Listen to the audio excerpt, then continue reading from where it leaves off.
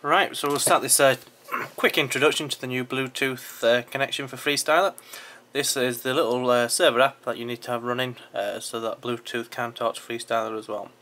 Uh, so we've got a pretty uh, standard setup, a few cues, a couple of submasters, a few overrides. Um, on the app itself, we're starting with Bluetooth off, there's no Wi-Fi, just a standard 4G signal. So if we click on the app, It's asking that we uh, need to switch Bluetooth on, which yes we do. And it's uh, no devices found, so we're going to do a scan. So it's uh, found my PC there. It's asking me to pair.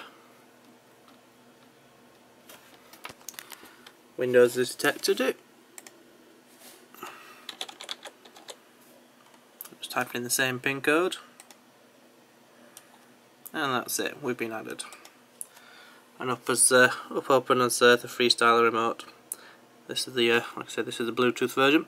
Now the new things for it is the Submasters. Submasters have been a, a while in coming. Uh, will be out on the Wi-Fi version quite soon as well as iOS when we get started on that. And this is a very very basic uh, overview of what this app can do. So at the moment um, we've got two Submasters pan tilt gobos, par cans are, which can be seen on this screen here. Nothing selected because nothing's run. So if I select a couple, as you can see as we press on them, it is going through the submasters. Like that. And I'll select it to run it. And there we are, we are running. Now for a gobo, let's choose a gobo sequence. Select it. There we are and if we just slightly scroll down we'll do the same. These cans, rainbow. And there we are. That is uh, very basic. Submasters up and running. Of course you can change things like speed. And whilst, uh, whilst they are running you can select another one. You've noticed the stop sign is still illuminated because it's still running. Um, but the, the sequence name is not because that's showing you, you haven't highlighted or started to run that. So at the moment for Par cans I've got white sign uh, selected um, but it's not running, it is still running the old rainbow. So if we press that that changes over to, to white sign and that's now running. Everything else is the same as the um, the Wi-Fi version. So you get complete sequence control. And in.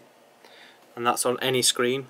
So even on the the Cue screen those um, up and down buttons will always work Submasters we've just shown, fixtures, shows you the groups. So I can select a group, so my Par cans, I'll select some Par cans there. Turn it off, turn it on, turn it off. Again with full feedback in the app. So once you've selected a group, you then got some options here of selecting the colour, gobo, beam, pan tilt.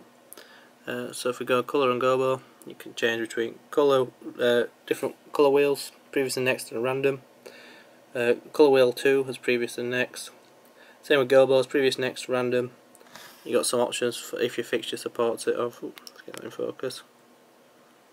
Uh, gobo rotate, and then you've got your full RGB, which you've got to put uh, a nice colour picker as well. To do that,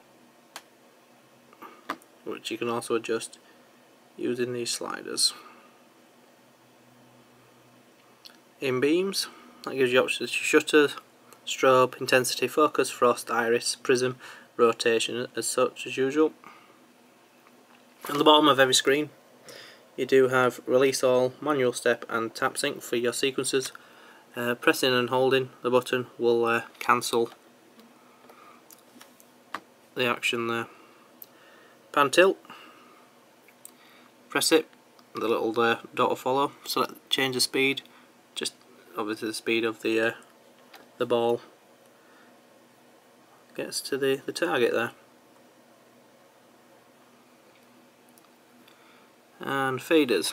Now you set this up using the uh, MIDI to DMX function within Freestyler, which is under Setup, Freestyler Setup, uh, External Control, and MIDI Control So somewhere down here.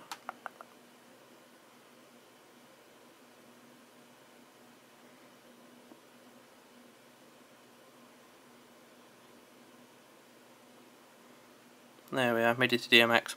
And simply all you have to do is type in the uh, DMX channel